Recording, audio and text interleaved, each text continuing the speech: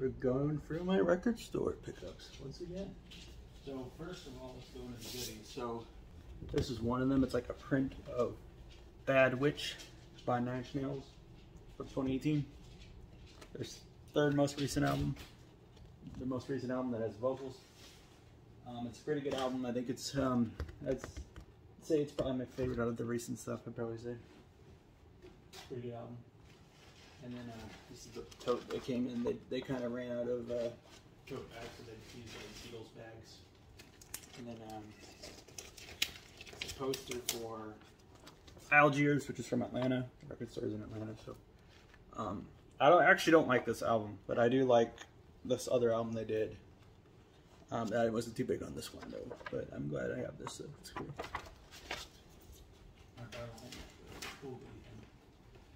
And then uh, there's some stickers and magnets. I want to show that, but there's also this thing, and there's this pin. And that's it.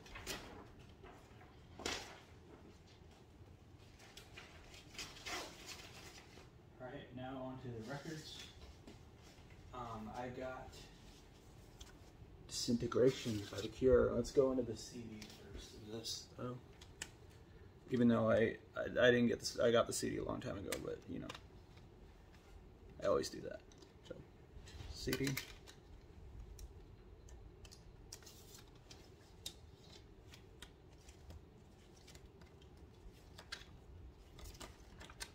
They're, um, as you, if you guys already know, I'm sure you know, Cure is a pretty well-known band. Post-punk and gothic rock band from England. Really, really great. They have a very atmospheric and psychedelic sound, especially on this record. It's a more accessible sound than their very experimental and kind of scary album, Pornography, but I think this is their best by far, in my opinion. I really, really enjoy this album. Has some really interesting and unique guitar work. Really fluttering, just majestic, ethereal sounds all over.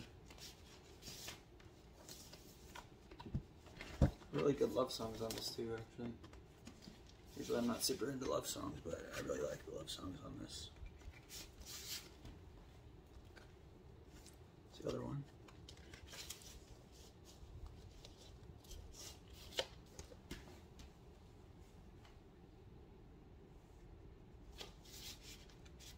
Alright.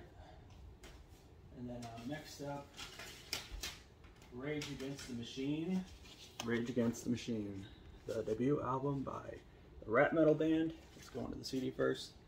Rage Against the Machine are a popular group, highly political group influenced by left-wing politics. And all the members are socialists, and I'm not a socialist, I'm a social democrat, which um, is basically where you go under, under a capitalist economy, but you also want stuff like free healthcare and free college and stuff like that. But anyways, they're a good band. I agree with a lot of the stuff they say, you know, all of it. But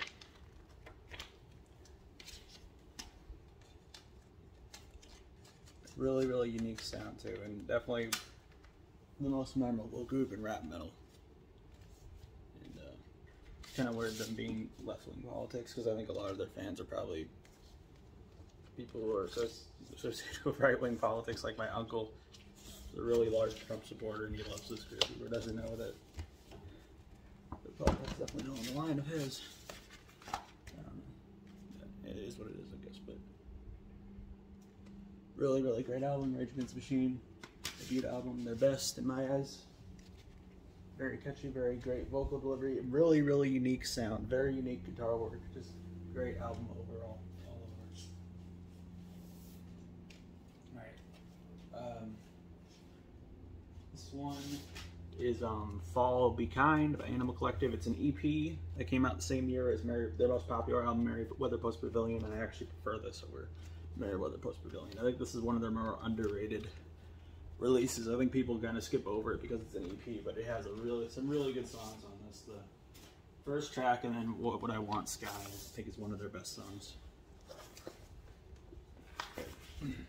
Yeah, it's a really, really good EP. You can download it if you want. I do think Merriweather Post Pavilion is one of the more, more overrated releases. I think this is one of the more underrated releases, and I actually think this is stand up with some of their best albums. I think. All right. Um. see. All right. Um, Set My Heart on Fire Immediately by Perfume Genius.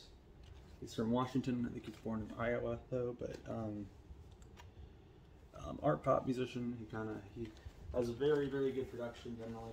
Really really ethereal orchestration and everything. It kind of goes all over the place in this. There's some harder songs. There's some songs that are just kind of dancey. There's songs that are really really beautiful and string arranged. Really really cool sounding album. One of the more underrated albums of 2019. I think this one this came out. I believe.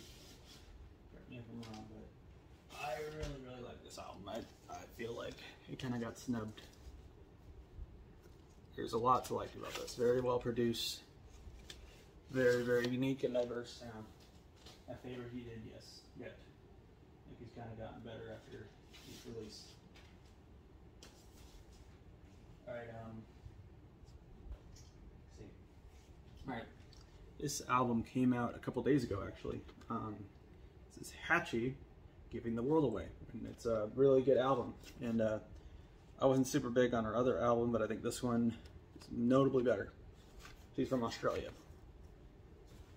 It's very catchy, but also just a very psychedelic sound too. Really, really pretty green record. Very catchy, very fun sound, and also just very pretty and atmospheric sound too. It's a really great album overall. Probably my top 10 of the year, maybe my low top 10 though. So far. Maybe we'll drop down.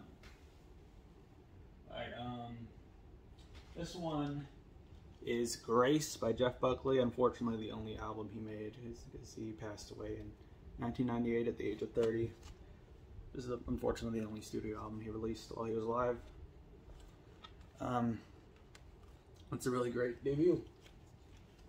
I don't even know if this, this probably would have just been his best anyway, but it's unfortunate. He really could have offered a lot to the music scene. His father is also a musician, um, Tim Buckley, and uh, ended up, and Tim Buckley's a really talented really great musician too. But I think he ended up being an even more great musician than his own father.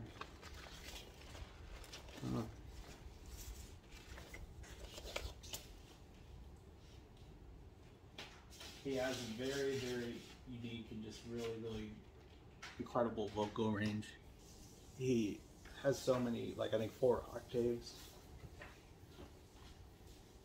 and he can. The way it's just so really, just really impressive the way he can sing in this. How he can do so many different ranges, and he can do it for so long.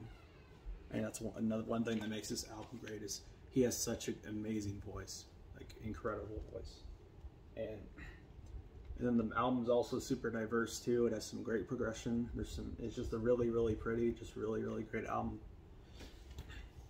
Really sad that this is the only thing he made.